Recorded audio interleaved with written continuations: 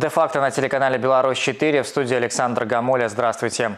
Двое погибших и один пострадавший. Итог автокатастрофы под городским поселком Октябрьский. Накануне около 17.30 там столкнулись легковушка и грузовик.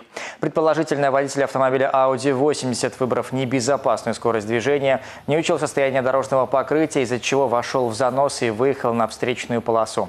Машину понесло прямо на автомобиль ГАЗ. В результате столкновения водитель и 64-летняя женщина пассажир легковушки погибли на месте происшествия. 23-летний молодой человек, который находился на переднем сидении, получил травмы и был госпитализирован. Водитель грузового автомобиля не пострадал.